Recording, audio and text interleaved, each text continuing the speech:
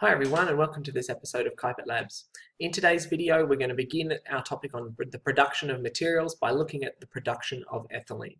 So as ever let's begin with an overview.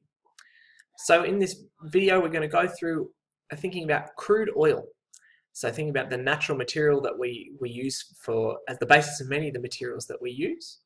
We're going to think about how we can um, we extract useful components out of crude oil by the process of fractional distillation. And then looking at um, the need for a process that we call cracking of uh, the different fractions from um, that we get from crude oil, and then looking at what we mean by the process of cracking and the two types, which are thermal and catalytic cracking.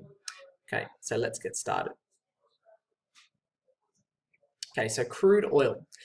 You can see that the, the image that we've got here showing you, um, you know, crude oil in its natural kind of state out of the ground is a complex natural, natural mixture of hydrocarbons. Okay, so it's a fossil fuel formed from the remains of, of plants, you know, many millions of years ago, um, that then have been converted into this, this really complex kind of viscous um, mixture. And so then the challenge that we have is that then to be able to actually turn that into something um, useful. So there's a lot of use, very useful components from it, but we need to be able to actually um, process that natural mixture. So we use this process called fractional distillation. So what we do is that we take um, the crude oil and then we heat it up and then we pass it into this fractionating column. But the idea is that it's got this heat source that then the, the, the mixture, the components of the mixture are heated up and then they travel their way up the column, um, moving their way up there and that as they reach a particular level that they will cool down. And so based on their boiling point that they will condense at different stages up this column. So things that are very um, have a very high boiling point will condense very early. And so they, they condense into kind of these reservoirs here and that then are siphoned out at different stages. Ones that have a slightly lower boiling point will condense um, at the next level up and so on and so on.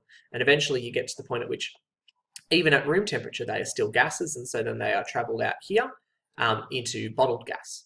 And so you can see that, and, and, and also right down at the bottom here that we have the thick kind of residue that doesn't um, become a gas at all. And so that then it, it travels out here. Um, and that each of these fractions, each of these different sections of the crude oil mixture are used for particular things. Okay, so you can see some of them listed here. We're going to go through them in a bit more detail. Okay, so we have, depending on their boiling range or kind of where their boiling point kind of falls, um, that different the, the different fractions have, have different names and uses. Now, the reason that we talk about boiling ranges is that we still have a, a, a, a significant number of different compounds that would fall within um, each kind of fraction. They're not a pure mixture.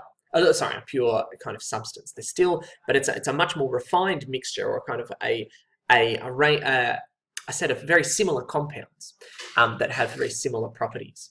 So things that have a boiling range of less than 30 degrees Celsius are, are really small hydrocarbon compounds that we use for natural gas or bottled gas. So things like methane and propane that we use as kind of gas fuels, butane as well.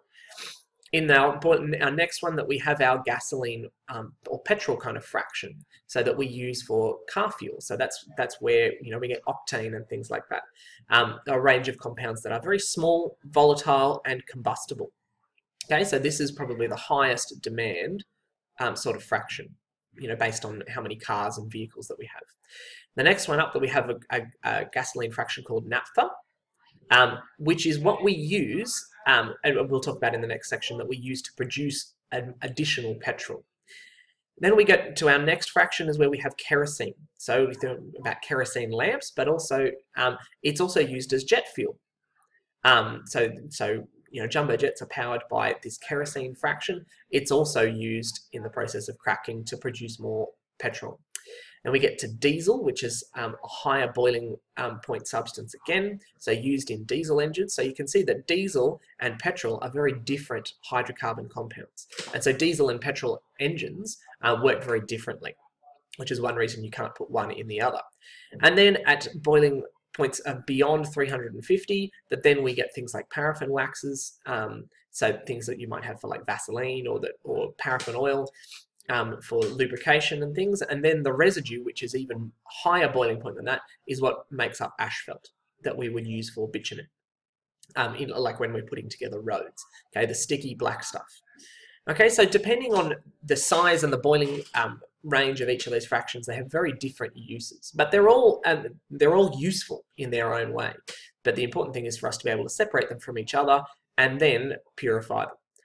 But the reality is that petrol is the most um, the petrol fraction is in the most the highest demand, but we basically we don't get enough. Um, the fractional distillation alone does not give enough um, gasoline or that this petrol fraction um, for what we need. So we need to be creative about where we can get more from, okay? Because we can't automatically just reduce the number of cars on the road. That's not a simple process.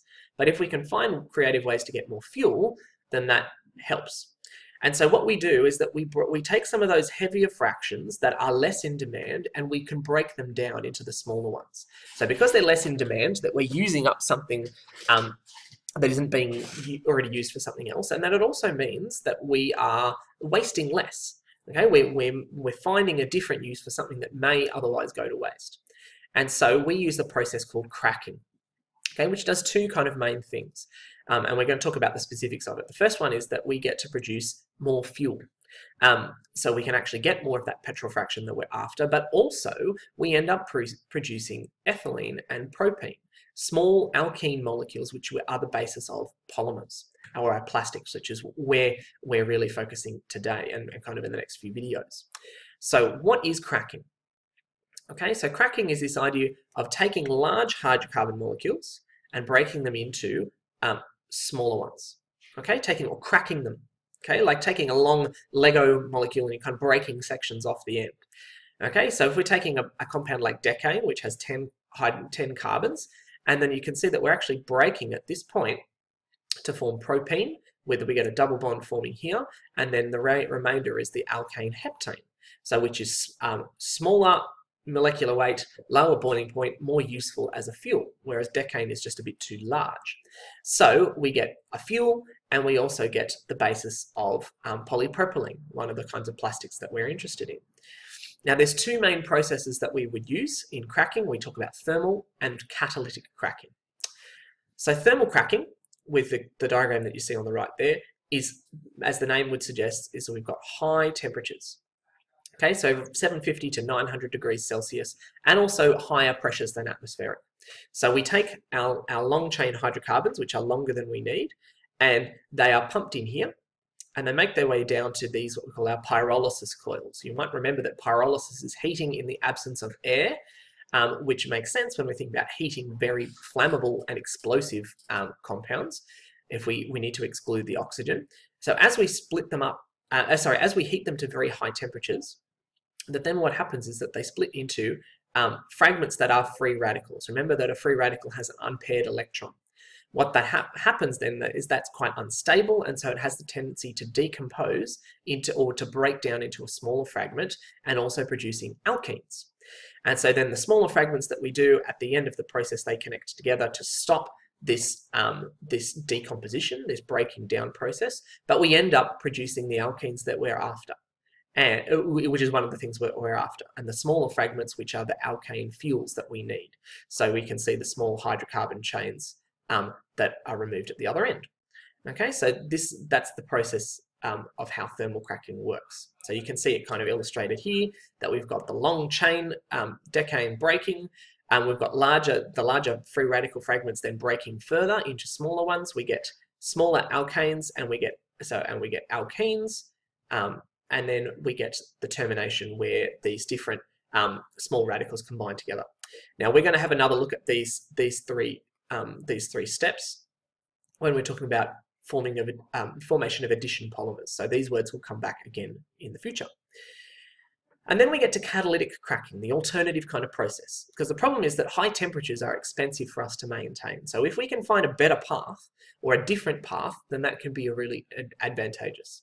So if we can use a catalyst um, like this one here, this one is called zeolite which is a crystalline um, aluminosilicate mineral. So it's got aluminium, silicon, and oxygen, and it has a negative charge. But you can see that looking at the lattice that there's lots of gaps and cavities and crevices and channels inside that, that structure. So that means that we get a high internal surface area, lots of surfaces where those hydrocarbons can stick and hydrogen atoms can be removed. So what we have on the right here is a vessel called the cat cracker, or the catalytic cracker. That's where this actually contains. It's a very large um, facility. But so because we use a catalyst and we have a lower activation energy, we can use lower temperatures. So around 500 Celsius instead, so that's cheaper and easier and safer. We only use slightly above atmospheric pressure um, because we, we're getting the effect that we're after. Again, we need an absence of air because it's flammable and explosive. Now the process here is slightly different because rather than forming a free radical with unpaired electrons, we actually form a positively charged carbon ion called a carbocation, which I know is a bit strange because it's, it's unlike anything we've looked at before, but the way that the catalyst works facilitates the formation of this positive ion, which then allows um, which then allows our molecules to break apart in it. So it's a different different mechanism that removes hydrogen atoms from the structure. Okay, so just to quickly recap, we talked about crude oil as the natural mixture um, from which lots of these useful hydrocarbons come. We know that fractional distillation is the process that we need to separate the fractions from each other, but that fractional distillation alone doesn't give us enough of the fuel components that we need. So if we take longer components and crack them or break them into smaller sections, we get more fuel, and we also get the basis of plastics or polymers, and that we use two processes of thermal and catalytic cracking to achieve our goal. Thanks so much for watching. Bye for now.